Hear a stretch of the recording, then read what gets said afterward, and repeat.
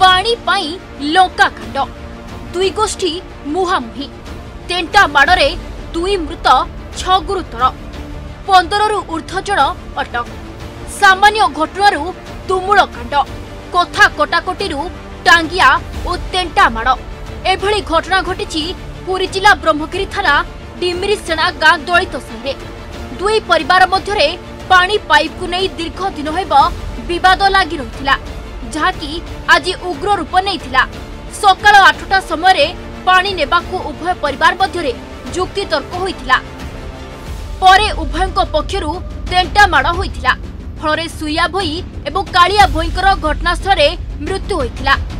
ଛଅ ଜଣ ଗୁରୁତର ଆହତ ହୋଇଥିବା ବେଳେ ମୋଟ ତିରିଶ ଜଣ ସାମାନ୍ୟ ଆହତ ହୋଇଛନ୍ତି।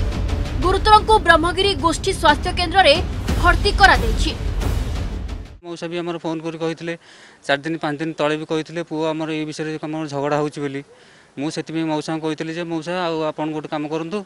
ଆଉ ଗାଁରେ ଯେତେବେଳେ ଆମେ ଗୋଟେ ଗାଁରେ ମିଟିଂ କରିକି ଆମର ଗୋଟେ ଲୋକମାନଙ୍କୁ ଟିକେ ବୁଝାବୁଝି କରିକି ଟିକେ କୁହନ୍ତୁ। ତଥାପି ଆଜ୍ଞା ସେଇ ବିଷୟରେ ବି ମୁଁ ଜାଣିପାରୁନି।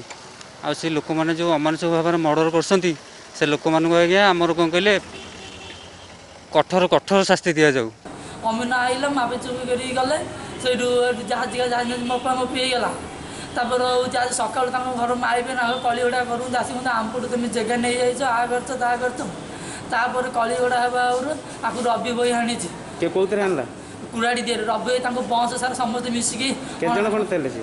କେତେ ଜଣ ଖଣ୍ଡେ ଥିଲେ? ତାଙ୍କ ଘର ବଂଶ ସମସ୍ତେ ଥିଲେ। ଘଟଣା ପରେ ପୋଲିସ ଗାଁରେ ଚଢ଼ଉ କରି ପନ୍ଦର ଜଣରୁ ଉର୍ଦ୍ଧ୍ୱ ଲୋକଙ୍କୁ ଅଟକ ରଖି ପଚରାଉଚରା କରୁଛି। ତୁରନ୍ତ ସେମାନଙ୍କୁ ଗିରଫ କରାଯାଇ କୋର୍ଟ ଚାଲାଣ କରିବ ବୋଲି ସଦର ଏସ୍ଡିପିଓ କହିଛନ୍ତି ଦୁଇ ପଟରୁ ଜଣେ ଜଣ ଲୋକ ମରିଛନ୍ତି ସୁରେନ୍ଦ୍ର ଭୋଇ ଆଉ କାଳିଆ ଭୋଇ ବୋଲି ଦୁଇ ପଟରୁ ଜଣେ ଜଣ ଲୋକ ମରିଯାଇଛନ୍ତି ବାକି ଦଶ ଜଣ ଆ- ଏପଟରୁ ଆଠ ଜଣ ଆର ପଟରୁ ଆଠ ଦଶ ଜଣ ଇଞ୍ଜୋର୍ଡ ହେଇଛନ୍ତି ଇଞ୍ଜୋର୍ଡ ଗୁଡ଼ାକ ସିଫ୍ଟ ହେଇଥିଲେ ହସ୍ପିଟାଲ ସିଫ୍ଟ ହେଇଛନ୍ତି ସମସ୍ତେ ହସ୍ପିଟାଲ ପ୍ରିଲିମିନାରୀ ଟ୍ରିଟମେଣ୍ଟ ପରେ ଆମେ କିଛି ଲୋକଙ୍କୁ ଡିଟେନ୍ କରି ରଖିଛୁ। ବର୍ତ୍ତମାନ କେସ୍ ଡିଟେଲ୍ ଯାହା ହେଇଛି ଏଫଆଇଆର୍ ରିସିଭ୍ କରିଛୁ ଆମେ ଏବେ। କେସ୍ ତଦନ୍ତ କରୁଛୁ।